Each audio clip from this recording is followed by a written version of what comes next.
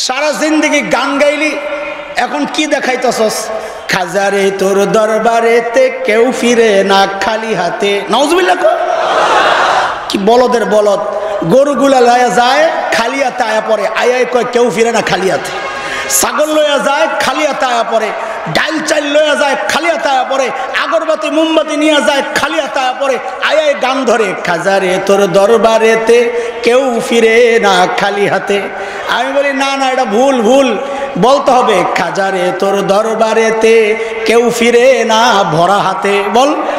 খাজারে তোর দরবারেতে কেউ ফিরে না ভরা হাতে। মালিকে তোর দরবারেতে কেউ ফিরে না খালি হাতে।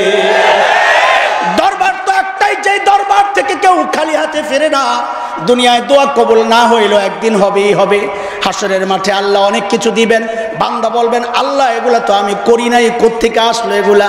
আল্লাহ বলবেন, তুই দুনিয়ায় দোয়া করেছিলি, আমি দুনিয়ায় কবুল না কইরা।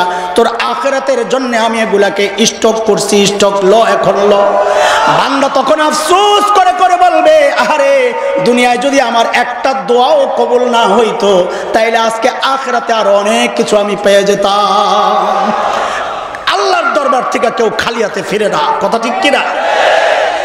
কারণ যে বিশ্বাস করবে, এই পাথর কাউকে বাচ্চা দিতে পারে, খোদার কসম খায়া বলি, একজন মূর্তি পূজারি আর এই আন্টি বিশ্বাস করে নেওয়ালা দুইটার মধ্যে কোনো পার্থক্য নাই, দুটাই মুশিক তুমি শিরিক করো না না, আল্লাহ বলেন, তুই শিরিক করস, কিন্তু টের পাস না। আল্লাহ আমাদেরকে হেফাজত করেন আমি আল্লাহর এই দুই হক যদি আদায় করেন, তো আল্লাহর ওয়াদা বান্দার তরে আমি জান্নাত দিয়েই দিব। জাগ্রত টিভি, পরিশুদ্ধ বার্তার বিশ্বস্ত ঠিকানা।